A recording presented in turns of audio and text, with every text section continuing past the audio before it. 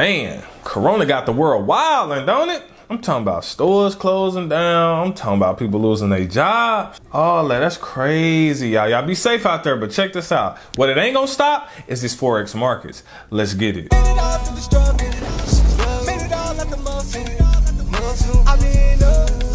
Wealthy Empire Network.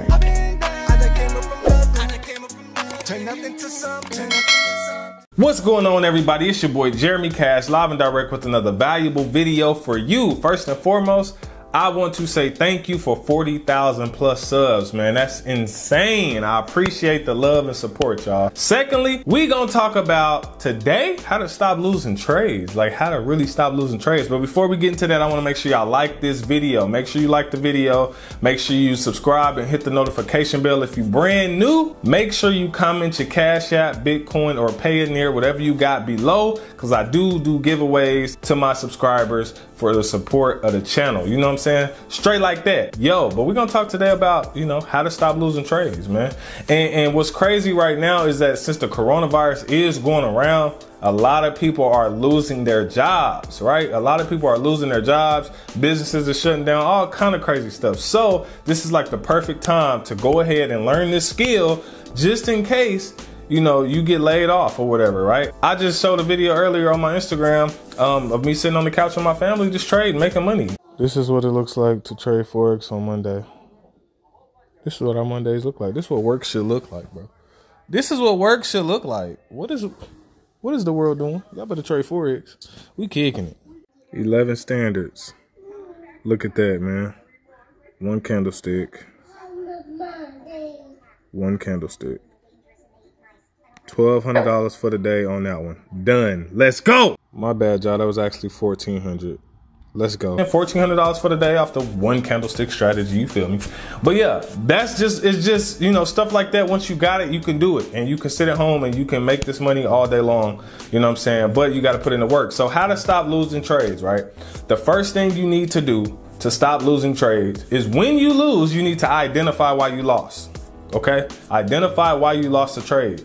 If you cannot identify why you lost a trade, you're gonna be in bad shape because you got too many squares in your circle. Boy, if you don't, you like that, you like that, you oh, get it squares and stuff. Okay, but anyway, you get that though. But look, so you have to identify why you lost the trade. You know what I'm saying? Because if you don't know why you lost, you're gonna keep losing. You're gonna keep doing the same thing, expecting different results, and it ain't gonna happen that way. Okay. The second thing is you need to stop being greedy. All right. The market is low key like a slot machine, but you will mess up your money if you keep on trying to be greedy. And what do I mean by that? You know, everybody been through this. All of us have. If you trade for it, I don't care if you're just starting an expert. We all been here right?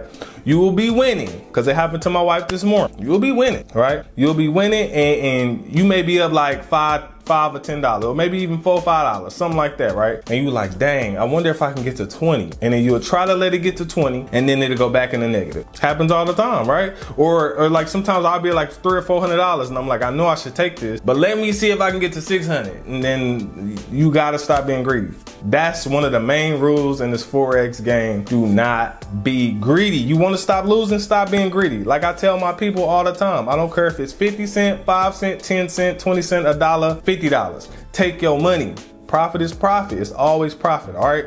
So you can always get back in and, and do it again. N another um, thing that's gonna help you guys stop losing is stop over trading. All right. The reason why I came out with the method of do it as you would do your job, as far as like uh, per hour, is because it's gonna eliminate a lot of that. Like if you do it per hour, it's gonna eliminate you over trading. So let's say, like I said, you come in the market, you trade for one hour right? And it may not even take you one hour. You may hit your income goal in the first 10 minutes or 20 minutes, right? You may hit the income goal for that hour, whatever income goal you set for yourself. You may hit that in like the first 20 minutes. And if you do that, get off the computer, get off your cell phone, go about your day, go play 2K. If you a fella, you know how we do. We play 2K, go play 2K, go to Starbucks, women, go go get your nails done, hair done, whatever. Come back in another hour and do it again, right? Now, if you lose, like I said, try again, but give yourself three chances. If you lose all three times, stay out the market for the day. All right. Because what's to happen is you're to do what they call revenge trading. And revenge trading is when you lose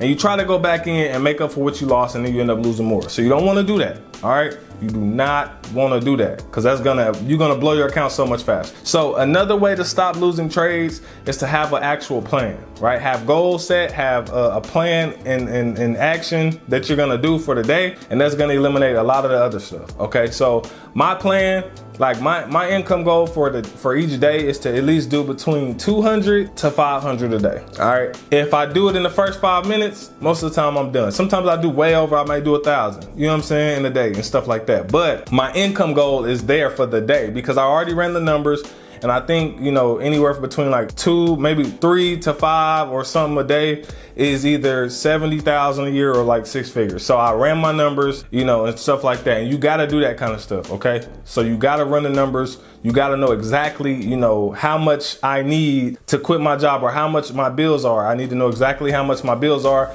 and I can make this. If I can make this, you know, within the first three days, the rest of the week I can chill and I, my bills is paid, stuff like that. Right. So that's the kind of stuff you have to do. But if you don't set those goals up, uh, then you're going to just be all over the place. All right. It's kind of like a ship that has no captain. The boat's just going to go out and just just go out the distance. But somebody who has a set goal is gonna hit that target every single time. All right, so that's kind of what it's like when you're doing that. Another one, another one that's gonna help you guys stop losing is stop trading with your emotion. And we all know, all right, you be killing it in the demo. I'm talking about you be killing it in the demo. I'm talking about you 10 trades in a row. You, you know, made thousand dollar days in the demo, you killing. But when you get in that live, them emotions kick in. and you start losing. You're like, why I keep losing in the live, but I'm killing in the demo? You know why? It's because first and foremost, you're not trading with what you're supposed to be trading in the demo.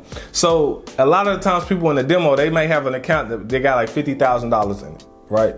But then when they trade live, they, their account is on like three or four hundred dollars. So they try they they was doing high lot sizes, 10 15 dollar lot standards. You know what I'm saying in the in the fifty thousand dollar account on the demo. But then now they got to do these smaller lots, and they're not seeing the same results. And I'll be trying to tell y'all, look, if you do if you open a demo, open a demo with the amount of money that you plan on having in your real account.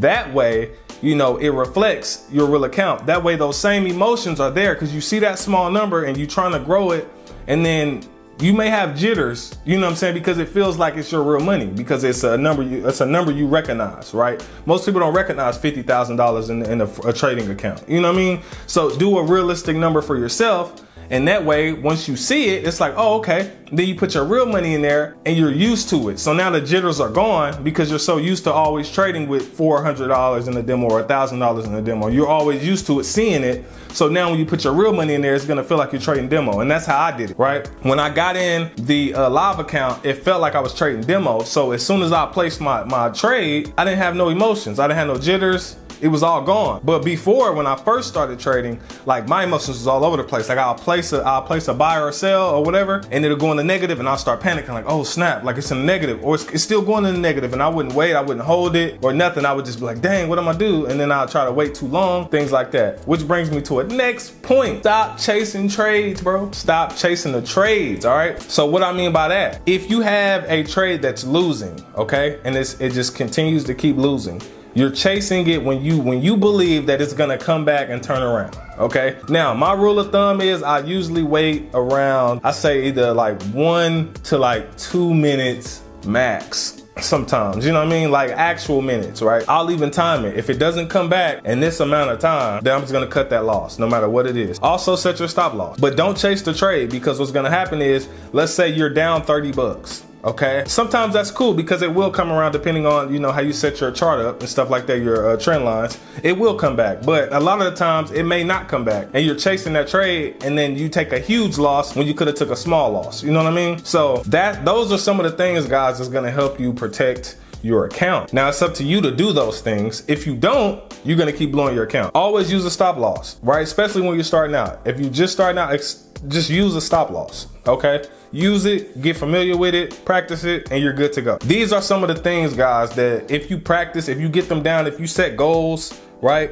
If you set hourly income goals, things like that, if you don't overtrade, if you, you know, definitely have a plan and action, if you cut your losses quickly, uh, if you don't be greedy in the market and you take what you can get, you know, I, I know it's like, I know it gets to a point where you feel like you get so good that you can just keep going. And that's gonna be the problem. Cause see, what happens is like, I use my wife for example, cause she's been killing it lately, right? And I try to tell her, I say, babe, stop trading. All right, you're good. You're good. You just won six in a row. Leave the market alone. But it becomes like a casino to people because you're winning and you're hot and you want to keep going. And I'm like, no, get a market arrest, right? You you won six in a row. Leave it there. Come back maybe in another hour or two and then do it again. All right. Because what happens is you're going to be in the market and it's going to be kind of like that mirage in the desert. You're going to start seeing things that's not really there. You may think you see a setup, but since you've been staring at the chart so long, you're going to be like, oh, this is a setup and it won't be the setup and you'll lose money. That's what happens. So what I want you guys to do is practice as much as you can in the demo right? Get a consistent strategy. My rule of thumb is if you can win five trades in a row with your strategy, right? You could you win five straight trades in a row.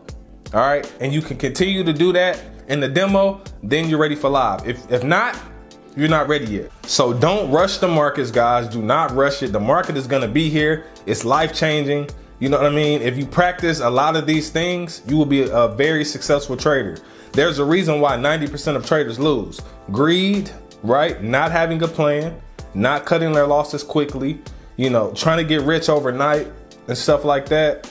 You're to continue to blow it. Take your time step by step, you know, hour by hour, you know, however you want to do it. Take your money when you have it. $5, I don't care if it's $2. You know what I mean? Take your money and compound that account and continue to do that and eventually you'll look up and have a and have a pretty good size account. Another thing I usually tell people as far as, you know, uh, when it does come to Forex, people always ask me like, how do I, you know, get a bigger account and, and things like that. I usually tell people use your account as a savings account, right? So if you are in like Trader's Way, that's what I use, right? If you have a Trader's Way account, let's say you could put 50 in the first time, okay? You get paid again from your job, you could put another 100 in and you just keep putting money in there without touching the markets. Don't trade, keep trading in the demo and build that account up until you get it to where you want it, and then you could trade. Then you may look up a month from now, you have $1,200 or $1,300 or maybe $2,500 in the account that gives you that leverage to do bigger lot sizes. And since you've been practicing for so long in the demo, now you got the strategy down packed. By the time you hop in the live, you're killing it out the gate, right? It's gonna eliminate the losses because now you have a set strategy that you practice in a demo and now you're on fire with it. You're killing it. And now once you hop in the live, it's like night and day money. It's like printing money all day long, guys. So those are the ways that you can stop, you know, losing trades, guys. If you practice these and you keep going in the demo, I know you want to get rich. I know you got bills to pay. I know you want to change your situation, but take your time in the demo, learn a strategy that you can just crush every single time you hop in the market. And it's just undeniable that this is the strategy that I'm going to use to kill it. Once you get to that point, then it's time for the live account. Then you'll minimize your losses, guys. So cut losses quickly. Do not be greedy. Come up with a plan. You know what I mean? Don't overtrade and you'll be just fine. It's your boy Jeremy Cash, man. Check out the Instagram as well, man. I'm always showing testimonials and stuff over there, guys. And uh, I appreciate, you know, y'all listening to your boy. I'm glad I've been able to help y'all with y'all trading. You know what I mean? Things like that. I'm about to get back to these charts. I'm gonna get back to getting this paper and I'm gonna see y'all next video. Let's get it.